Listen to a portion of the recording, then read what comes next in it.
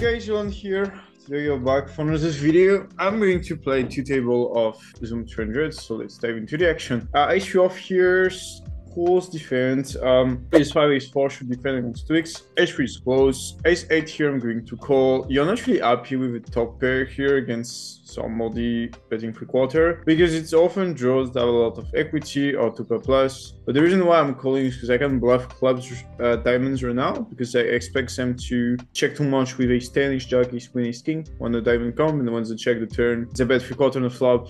Uh, I'm sure she doesn't have a flush, so I can bluff diamonds right now. So I probably, otherwise probably you can. And on the river, I'm probably going to check and see what he does. Uh, and like queen jack, yeah, I don't expect him to reopen the action support from the river, so when the air region is betting the sizing, it's actually great for me. But it's actually rare to see these hands. In general, you will see way more hands like Ace 9, 7. But I'm not surprised because the fact they play these spots against the three quarter occurrence, uh, people having bluffs have like 100 bluffs possible, and people having value have only like a king, ace queen, and took a plus in the sizing. So if I face like uh, an average of one guy bluffing, one guy not bluffing. I'll, I'll face more the guy uh, bluffing, which has way more combo range. But that's why I think you can follow this ball texture with top pair against the known here. Anyway, uh, ace king. Um, I free bets. I'm going to bet small on this flop. King nine on this flop. Uh, you can play with multiple strategy, big um, around half pot, small is fine. And play with the sizing here. Ace king can call on the turn now. I have a good ace king combo actually. I'm, I'm looking the a6 of diamond. And um, here I, I think I have a sweet three barrel diamonds run out, and I'll probably give up on non diamond run out because I, I can win against some ace queen now. And now it's actually really tempting to bluff. We don't block his five suited, it's not a huge problem. Uh, now the question is, does he really fold jacks, tens, and nines? I mean, it depends. The only problem here is with my nickname, in general, people tend not to fold too much. So I'm gonna check here, maybe all the check is, is already high, so let's lose against nines or something. 10 9 of diamond, yeah. This is also why you can barrel in like king, and 10 9 of diamonds just to fall on a turn. Um, you can call his hand. If you have like queen jack and queen, I understand the call a bit more because now you have way more equity against the part of the value region, like tens and nines. But here, I, I feel just this hand out of position should just be folded. I just have the 5k table just in case uh, fish pops out. Uh, I can click and I can play. 8-7 I'm going to check and king 7 I open this a call. So it's an aggressive guy um, so I, I, believe he will just have way too many bluffs. So two way to deal with this situation uh, it's either you call and lead or you just raise on the turn. When I'm raise the turn here I expect 5-4 to bet on the flop. So his value region is basically only sixes and has all the bluffs available so I'll prefer to play this way 8-7 here I'm probably going to check my hand right now. 10 is not even good, and yeah, my hand feels a bit too weak after the check raise to continue. And king 7 now, mm, this is not an easy spot. I think I'm just going to check here. I'm calling if he bets because the only value he has is 5-4 at this point. Uh, and if he bets really big, a 10 is not going to bet deciding, so... Yeah, I'm gonna make the sick error call here. this one is crazy, and I swear if it doesn't go for, I'll still be on YouTube. But the reason why I, I call the Oli is she's not jamming SI, and his only value region is 5-4. I don't think 5-4 is making this sizing. I already saw that he was really aggressive, so just, uh, yeah. I'm gonna call and close my eyes here on this one. Woo, let's go! I, I said it before, if, if it was not going through, I, I will not, I will put it on YouTube. I, I think just his only value region is 5-4. I think 5-4 doesn't take this sizing, so it, it makes him more oriented towards the bluffing region, and if he has the bluff region too much and I can win um, the EVs, all the badges. I'm, I'm happy about this call. That's cool. Uh, Jack 10 here. I'm going to fold against 2.5. Uh, 6 4, I'm gonna jump here. He's not in the end anymore. When people check back at a certain frame, uh, it just means they're not in the pot and it was this frame, so I just just go in. I can just like check the turn, check and bet the river. It will not change anything. Um, here in this guy, I'm going to call 4 bet here. I'm not gonna do super big. I think small sizing pairs for me really well. In general, people are extremely afraid of aces. They play a bit too passively, which means they're going to play aggressively like the aces, kings region in general, again the sizing. So um, when he call post flop, I'm I'm often good here. Um, I'm gonna bet five. I think five is great also. The only problem is five, if you start raising bit more, but I don't think it will happen. Like my range is quite protected with the aces. Nine five here, I'm going to open the button. It's a bit wider, but in general, it's not true all the time. People under free bets a little bit in the big line, so instead of close open makes money. Like my, my skill compensate the, the loss we have in theory here. And also I, I made the king seven only call because I only had information this guy bet for quarter on the flop. And also something interesting is he didn't give up um, on the river with Queen Jack directly. He, he thought about it. So it means he's a player that is capable of bluffing multiple streets and put money in the pot. It's also why I call. And it's, it's an important metric to see how much time it takes sometimes with the hand because it can learn you what they think about it, uh, what they think about in the spots. Because if someone, for example, don't bet at all on the river and doesn't want to bluff a, a certain name, I can make a conclusion on his profile profile way faster. King Jack here, I'm going to I'm gonna bet one third here. Recheck back on the flop. Um, I should check a lot on this ball because really connected ball like this are really bad for you. I'm gonna check my roll range. I will have the best end super often here. I'm gonna bet five here. I think we go by eight or something like this. Basically, I'm going to bet really small. This is SPR. I'll gain all the money against an ace. So now I'm just trying to get called by the air region. I think it's where my money come from. We call by sixes. This is also the plan. I think the checking back region will be too oriented towards pocket pairs, as it shouldn't really have too much pocket pairs because most of them should bet on the flop. Okay, he called, and now I will bet around 13, just get called by an ace or a spade. I will also make callings like 5 and 6s. And I think when he snap jump, probably have a fold. No, probably have a call. Yeah, this is a shitty situation. I expect flushes to slow play, so he will have better ends for sure, but I don't think can fold his king. Against uh yeah, but he will raise his queen is jack.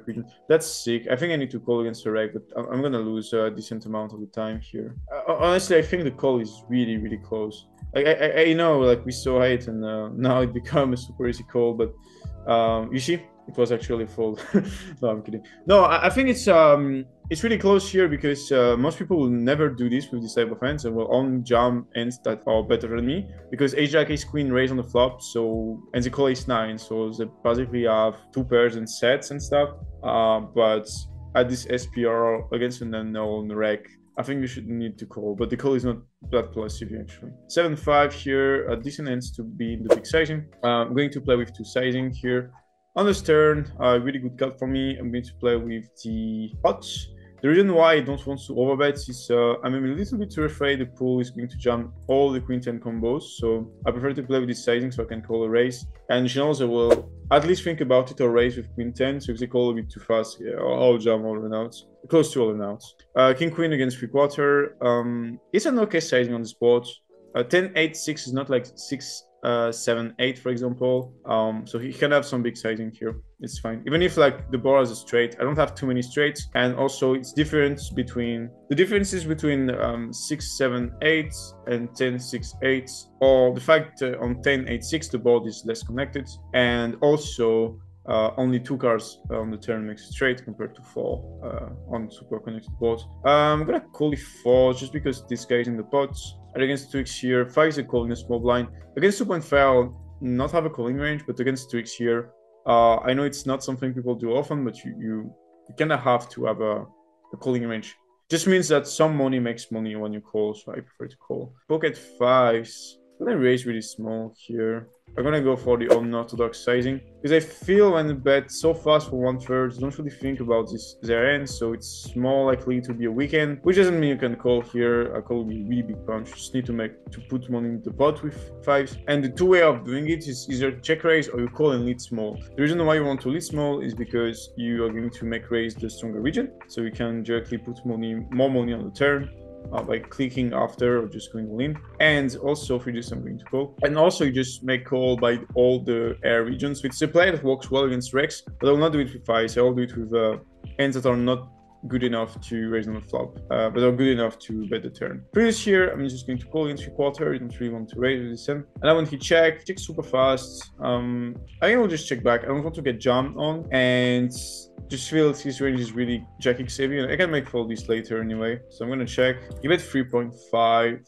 Yeah, I think just lost now. I'm gonna fold. Okay, pocket kings here. Going to four bets. Take a call, Jack 9 4. Going go for buff saving here, like one quarter and pot is okay. I think pot is a bit more appropriate. However, I think they don't call enough the pot sizing, so I'll just downsize with kings and I'll bet one quarter. Uh, the turn is a nice, uh, which is not really good for us, but uh, I block ace king and shouldn't call too many ace queen on the flop, so I think I can still bet with kings actually. Really, really close. Yeah, let, us check kings here.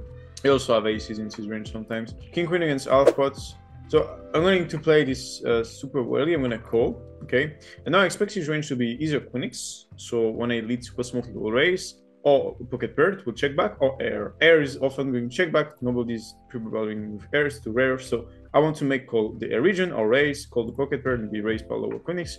With kings here, I'm going to call. Ah, this is super west siding on the turn. Uh, just siding that uh, is please, I want to check back, or please uh, call because I'm gonna jam all the time. Uh, it feels more the second option to be honest. And on king queen, he often have a pocket pair right now. I think output is decent enough. I don't represent too many ends, so I, believe he will be quite suspicious with ends like pocket six, pocket five. I can also downsize here because when you bet smaller, you can rescue the ace jack region. And on the river, I think I'm just folding. Um, well, it doesn't represent so much value, and I don't think Ace King is playing with this bet sizing on dual flush vaults, even if I don't have too many flush draws. So basically, tell me he has nines, jacks, or aces. But in general, when people disarticulate the bet sizing, which means they are going to bet extremely small and really big, or like really big and really small, in general, they are always it. Um, I don't expect uh, people to play value in this way uh, because they're a bit scared to represent less sense. So I'm gonna ask for YouTube.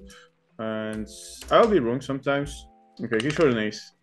Okay, nice from uh, him.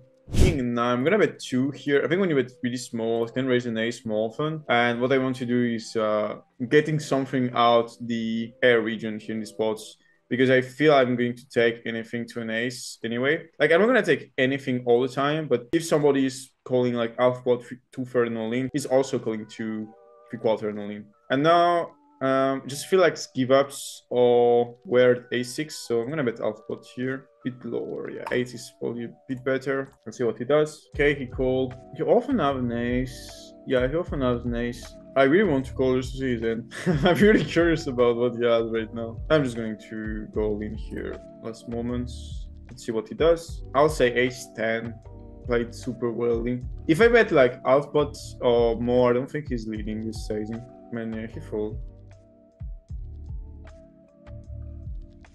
Ace is here. I'm a bit small here. I don't want him to fold. I think he mainly have a pocket pair play this way. And sometimes when you bet 6 I raise the queen x region. So. And also sometimes raise the shit region. Where I don't expect people to call enough on free streets. Uh, I'll play with this type of move. I call the turn. And now please give me all the money you have with 7-8 to prove my point. Uh, queen 4, I check back on this flop. Uh, I'm not really happy when he bet 3 quarter. So I'm still going to call. And on the river, uh, fully folding. Okay, I'm going to check. Gonna check back. King, queen. Okay, and now with aces. Mm. that would be so funny if we lose against sixes. He can also have hands like 4 5. I think when he plays so polar, actually, I can't really. Looking ace queen, I can't really raise. I think I'm 11 of value, so I'm gonna call against. you know what? I, I think I lose. Honestly, I think I lose here. No, I win. Okay, surprising. Ace against small sizing now, will be really close. Um, I think my end is lower in is lower EV compared to Terry because I mean he know I have ace king, so it's going to be way more complicated to play. I'm gonna follow your key. I think this is a fold. You go with the diamonds. The key of spade is not good. Queen 10, I'm gonna check back. So a6 4 should be played as around small and check. You can also have a range bet strategy. I think you play lower than 500 now, it's fine. Around this turn, you should play with um like overbets, pre quarter maybe some small bets. Small bets will be better on rainbow boards. And queen 10 here can go either way. I'm gonna check. I prefer to bet with a heart yet just to block calls and raised, and also to have a good bluff from person out, for example. And now on the river, uh, I think this end is just a bluff right now against the pool gonna bet around. I think three is fine. Even half pots. The setting I will do with 10 jacks queens often. So I like the half pots. It's really tough for him to call queen jack and all the king a region, even the pocket pairs. I think it's a powerful line for the pool. 10 8 I bet big on the flop. I'm gonna check the turn 9, call any reverse. now he has way too many king jack, queen jack, jack eight, queen eight, and people just bluff them way too much. And when he check, he often has an i beat So I'm gonna value bets, and in terms of sizing, I'm gonna pot trying to get called by something. He will have better 10x sometimes, but I expect them to bet super often. Uh, pocket queens, I free bet to pot check 8-7. Not a really good bot for you, especially as deep. Uh, even if it sounds really weird and very counterintuitive, when you play deeper, you have more bets out of position in free bet pots. So if you know the answers, just tell me in the comments and uh, I'll tell you if you're right or if you're wrong. Uh, pocket queens on the turn. I'm gonna check again. I don't feel I win so much by betting the turn right now, so I actually prefer to check. Yeah, it's exactly what I want. So you might think with queens you want to slow play. It's not gonna be the case so often. I still think here is uh, a bit mandatory, so I'm going to play this as a call. I think when players can see me on ace king again, so bet if they don't think I have ace ace kings, I don't bet really weird action here. Um, yeah, that's that's a bit weird by him. Uh, that's why I say like you don't necessarily want to slow play with queens. Uh, you have two ways to play queens. Three ways. You can check all leads. You can check all check. You can check raise. The reason why I thought about check raising and leading is because in this eventuality of people not bluffing the river or not having bluff on this turn sizing, the check is absolutely, absolutely disastrous compared to the bet. And in cases somehow of balanced ranges plus merge in, a check will be better, but it's not like that better, you know? That's why I think it's probably better to lead because if we do some EV differentials on the eventuality and it will happen at a decent probability, the guy doesn't bluff enough. The bet is absolutely higher because I can value all the cents. And uh, when I bet small, I can even get raised. But the region I beat ends like Queen Jack, for example. Jack 10, he leads small. Um, it's funny. I'm gonna call. I don't think he will bluff that much actually. I'm gonna jam. I don't think he has a strong end super often right now. And GG if he got me. Maybe he will just want his revenge. No, he probably. The nine here. I'm gonna raise. Uh, the 10 card is actually good for my range. Not really good for my hands. Um, I think overpairs is often going to re-raise at the stack depth, so ace 10 start to be way better in this spot, so I'm going to bet small. I'm gonna bet really small now with my hand, just trying to be called by king 10, uh, king jack, uh, this type of hands, and when he jumps, it's not good for me. I think I need to fall, like he's just not aggressive too much. So yeah, just a fall at this point. Yeah, I had note on this guy because I, I played him before. Acing against the free bets, I'm going to 4 bet. Around 18 is fine. Good is a call. Uh, King 9-4. You can see bet with one third and one quarter is fine. When the cards, the second card is a bit lower, you can use more the 10% pot bets, but now on this card, doesn't make too much sense to use it at the high frequency, even if you can use it.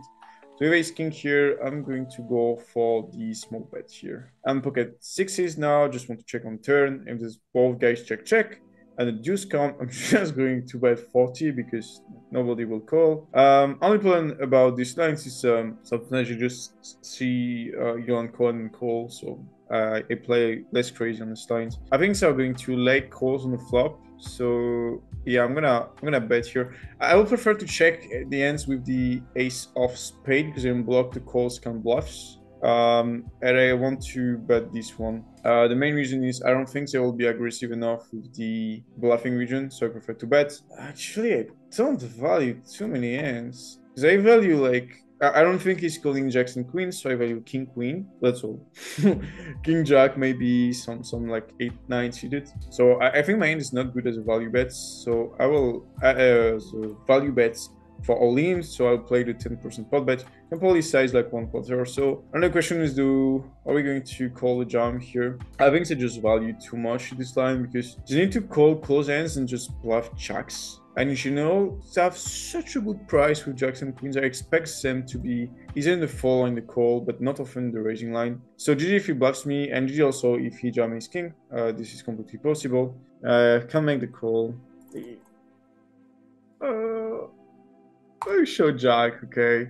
Not cool. Yeah, unfortunately, as you saw, um, ace 8 9 here. This is actually, uh, people don't this, but this is a super often uh, check back here.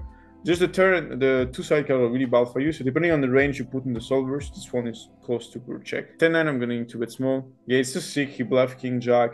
Actually, he only has like 10s that can fold a turn and nines in value plus aces. So um, it's actually quite tempting to call because you can find the bluffs here. Recognizing I don't have too many bluffs in the region, but my betting region is so strong. I, I don't like queens this like this, so yeah, it's tough. Pocket five is going to bet big on the turn. Uh, pocket five is bet big, he call. Uh, now on the river, mm, probably going to give up here. Okay, he bet 9, so I'm gonna fold with 5, there's nothing to do. Ace 10 suited here, I 4 bets. Uh, I can play this with uh, half and small. Uh, I'm gonna small with ace 10. Okay, and on the turn, so I block the main floats, you can bluff me. So again, this ace 10 is more in the bets. However, you can cut yourself a little bit on this run out, so I'll prefer to use the check here compared to the bets. I think it's better. Check back, interesting. I still block the like ace queen ace jack suit can call, check the turn, bluff the reverse. So Zen is mainly in the bets. I think I'm just going to bet like 11, and if he jam, I'm calling. I like it, it represents too many bluffs. So uh, I think the best size, retrospectively, is just to bet 5 on 8 because he has ace king super often, he will not fold the small sizing. So I think my sizing was a mistake here, should, should bet smaller. King 10 here, just misclick preflop. I don't mind um, limping UTG. It's the only position where limp is fine. Gonna limp raise here with King 10. Is this a nice misclick? no, limping is definitely a strategy. If you play 9 max, for example, lower X, uh, the, the difference in EV between limping and raise is really close. And GTO ranges doesn't take into account the fish on the table. And sometimes with a rack on specific dispositions, it will be way better to limp. So you can call all the time a limp call, and you can build the pot bigger like this.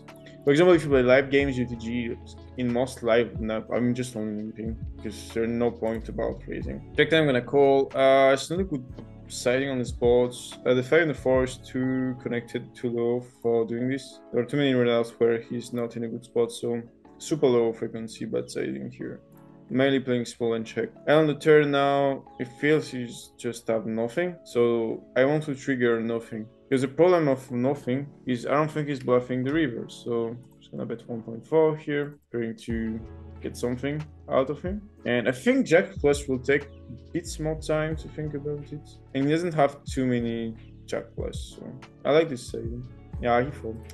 Only betting one blind is better, but if you fall against 1.4, I don't think when I check back he's betting. Like the only way I'll win money is just check and wait the small amount of runouts where he basically just eats something and I can call my bets. Just only what I'm looking for. Ajax, I mean, called 4 bets here, will be the sizing. Ajax is really loose, but if you see what UTG should do and what small blind should do, in drills they will play a bit too passively. So um, if you see with these assumptions, uh, I think this type of starts to be okay. In my merits, not like that plus EV. You can't raise king 10. Uh, still bad even if people play plus I think is doing a good job. I'm gonna check back here and uh, jam the river. Uh, not on the jack. Mm, interesting spot here. I actually have to. I need to call. This sucks so much. I lose often here. Yeah, I know. I know, but the um, should listened to me in the first instance. No, I, and he's probably folding kings on I jam. I don't know. Yeah, the only value engine he has is jacks blocking this, aces blocking this. And I think king's preflop would kind of re-raise, so now he might have too much the just ace king region that call wants to block the river, but I think he will not do this sizing. He'll be too scared of aces, so that's a bad play from me here. 8-7 I check. Should go to bed. Yeah, I should have taken the, the conservative options here with jack. And just folding is the best. I think he's folding when I jump, yeah. Because in, in these spots, I, I don't think he will me too much on this.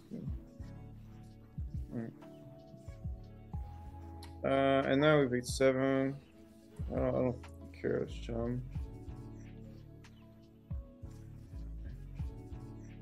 I don't traps nothing, but they bet the value region before, so the, the, the only maximum ends I have is queen, but with these timings, it's jolly, I don't think so. I really don't care, we just jump. Hope you like this video. Uh, see you soon for the next one. Bye guys.